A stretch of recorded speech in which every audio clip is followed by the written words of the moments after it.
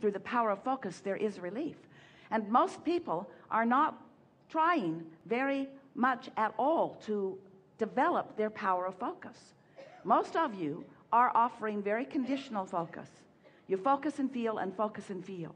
And we want you to feel and then focus.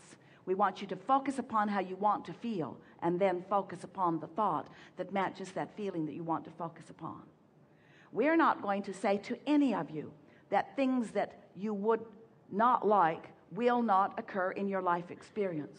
But we will say to all of you you have the power to focus yourself into alignment no matter what. You have the ability to experience unconditional alignment unconditional love you see. So if we were standing in your physical shoes we wouldn't spend any time making claim to that statement even though you feel very powerfully within yourself right now that it is a true one. Don't want to go through that again.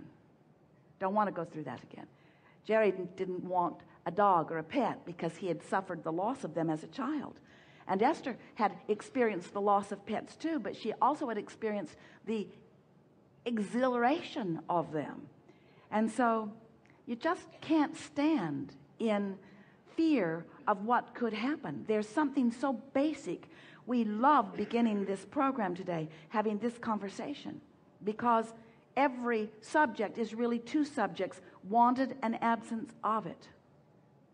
And some of you are worried about letting yourself really go into what you really want for fear that it won't really happen or that it will come and then it will go away and what we want you to know is that once something has come and once you have tasted the sweetness of it it not only does not go away but more like it comes and comes and comes and comes.